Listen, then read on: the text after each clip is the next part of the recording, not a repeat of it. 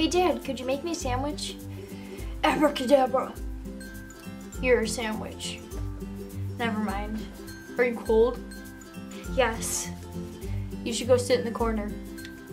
Why? Because it's 90 degrees. I wonder how many dead people are in there. I don't know, five or six hundred? All of them, you idiot. Dad, I fell down and scraped my knee. Don't do that, it hurts. Be careful standing near those trees.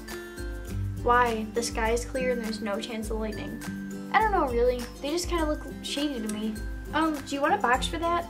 No, but I'll wrestle you for it. Ask me if I'm a tree. Are you a tree?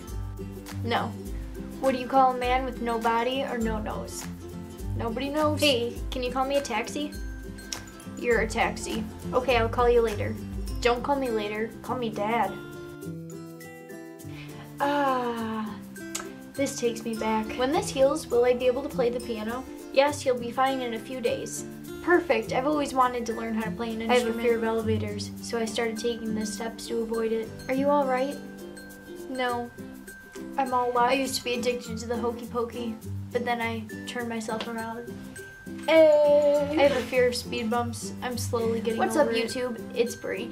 And a few days ago, I saw on the BuzzFeed Snapchat Discover Story dad jokes, and I thought they were so funny, and I keep seeing them around, and they're pretty funny, so I thought it'd be cool to act out a few of them and to just put together a little video for you guys. So if you like this video, give it a big thumbs up. See you next Sunday.